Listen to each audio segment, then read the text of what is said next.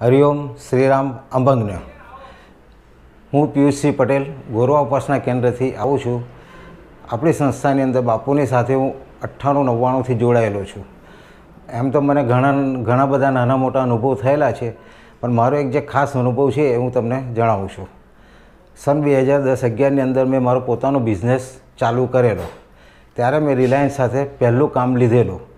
મારી ઈચ્છા હતી કે રિલાયન્સ મને કાયમ માટેનું કામ આપે તે માટે હું બહુ ઈચ્છા ધરાવતો હતો. પણ મને કોઈ રસ્તો મળતો ન હતો. તે પછી મેં જ્યારે પેલું ગુરુ ગુરુ પૂનમનો ઉત્સવ હતો ત્યારે હું ત્યાં બાપુને ત્યાં આવેલો, બાંદ્રા. ત્યાં આગળ મેં બાપુને અરજ કરેલી કે બાપુ મને અહીંયા રિલાયન્સની અંદર કાયમી ધંધો મળી જાય તો બહુ સારું રહે. પણ એક બે મહિના પછી, મને પછી રિલાયન્સમાંથી બોલાવવામાં આવ્યો કે ભાઈ તમારી સાથે મિટિંગ કરવાની છે. તમને કામ આપવા માટે અમારે, અમારી ઈચ્છા દર્શાવીએ છીએ. તો હું બહુ આનંદમાં આવી ગયો, કારણ કે હું, મારી પાસે જે કામ હતું એ ઘણું નાનું હતું અને ફક્ત ત્રણ મહિનાનું જ હતું. મારી ઈચ્છા એવી હતી કે મને જો વર્ષનું કામ મળી જાય બે, ત્રણ વર્ષનું તો મારો ધંધો રાબેતા મુજબ ચાલે અને હું વ્યવસ્થિત કમાઈ શકું. પણ મારી પાસે એવા કોઈ ડોક્યુમેન્ટ્સ કે નહોતા કે જેથી મને કંપની કામ આપી શકે, કારણ કે મારી પાસે પૂરતા કાગળે હતા જ નહીં, જેની ઉપર મને રિલાયન્સ કામ આપી શકે. તે છતાં મેં સાહસ કર્યું. અનિરુદ્ધ પૂર્ણિમાના દિવસે જ્યારે અમે ત્યાં મુંબઈ ગયેલા હતા, ઉત્સવની અંદર જોડાયા હતા, ત્યારે મેં સાહેબને ત્યાં મુંબઈ ઓફિસ પર વાત કરી કે, સાહેબ, હું મુંબઈ આવ્યો છું તમને મળવા માટેની ઈચ્છા ધરાવું છું. તો એમને કીધું હતું કે, સારું, તમે લંચ પછી મને ફોન કરજો. જો અમને ટાઈમ હશે તો અમે તમને ફોન કરીને બોલાવીશું. મેં કહું સારું. ત્યાં પછી તે વખતે બાપુ ત્યાં આવતા હતા.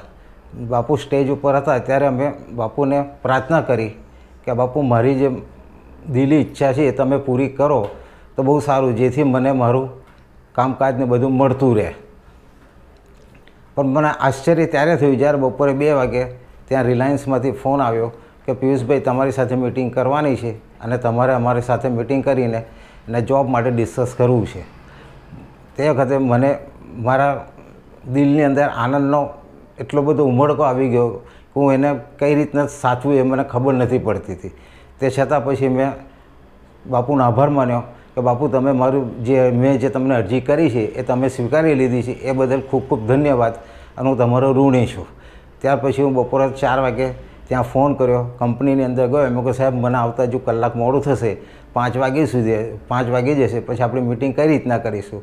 તો એમને મને સામેથી જવાબ આપ્યો કે તમે વાંધો નહીં, તમે સાડા પાંચ સુધી આવશો, તો બી તમારી સાથે વાતચીત કરીને અમે મિટિંગ કરીશું. મેં કહું સારું સાહેબ, અમે આવીએ છીએ.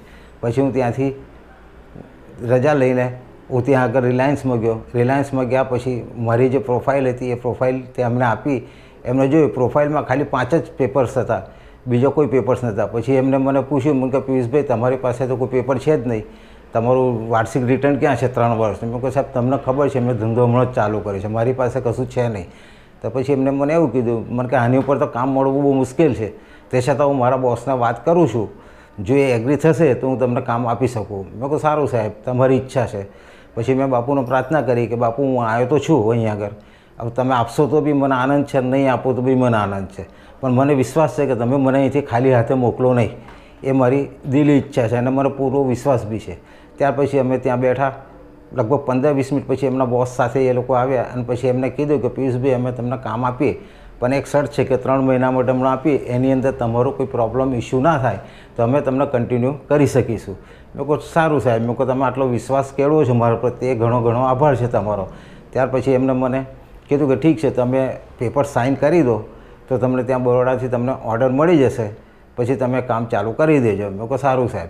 અમે ઊભા થઈને નીકળતા જ અને પેસેજમાંથી જેવો ગેટ ખોલીને બહાર જતા હતા, એટલા પાછા બોલાવે એમને અને એમને પછી અમને એવું કીધું, મને કે એક કામ કરો, તમે બેસો, હું તમને અહીંયા જ ઓર્ડર આપી દઉં છું, બરોડા, બરોડાની રાહ જોવાની નથી તમારે.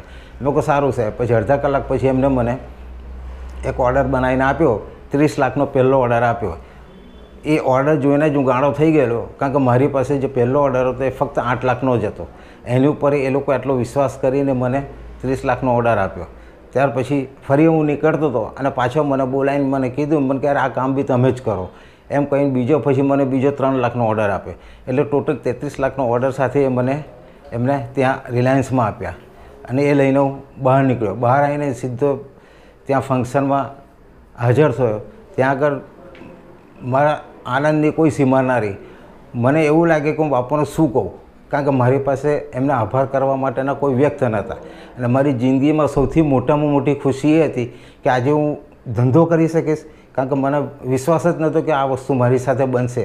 કારણ કે મેં આશા મૂકી દીધેલી. મને લાગતું જ નહોતું કે મને રિલાયન્સ કામ આપશે. કારણ કે મારી પાસે કોઈ પેપર્સ હતા જ નહીં. એટલે ક્યાંથી જોબ આપવાની હતી? કારણ કે મારા કરતાં બી ઘણા મોટા મોટા પાર્ટી કરોડોના કામ કરનારા મારા લિસ્ટમાં, મારા પછીના લિસ્ટમાં હતા જ. એટલે શક્ય જ નથી કે મને આ બધું કરી શકે. એટલે હું બાપુનો એટલો આભાર માનું છું કે બાપુ, તમે જ આ વસ્તુ અશક્ય અને શક્ય કરી શકો છો. જે તમે આજે મને કરી બતાવ્યું છે, એ બદલ તમારો ખૂબ ખૂબ આભાર હું તમારો ખૂબ ઋણી છું. હરિઓમ શ્રીનાથ અંબક.